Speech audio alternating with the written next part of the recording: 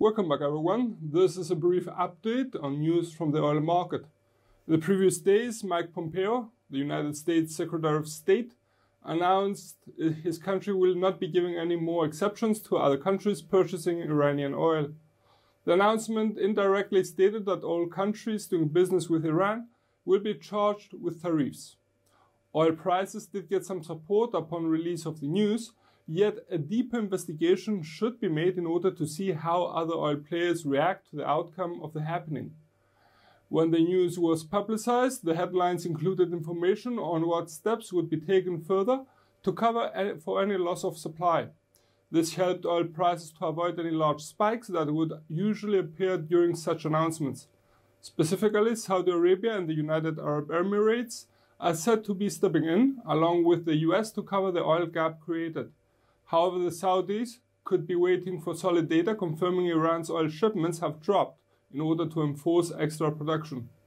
However, the fact remains that by the 2nd of May, waivers provided to eight countries will not apply anymore, and we will need to wait until then to see how much oil needs to be supplied.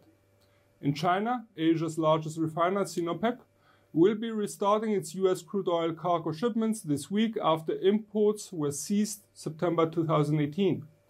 Both sides may see this as a rising opportunity to help each other as trade talks between the two world's largest economies have progressed. We see the case for the US to continue to send more oil to China in the near future as they both act as a perfect supplier and purchaser for each other. On other news in Venezuela, oil production has dropped to significantly low levels, forcing the Latin American country to import crude oil for the first time in five years.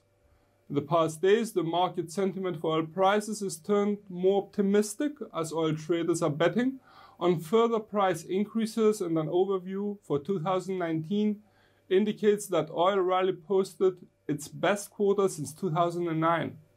However, we believe more action in the WTI market could prevail as we enter May due to various fundamentals being in a wait and see situation. For more in-depth investigation, please refer to our written report, which also includes technical analysis.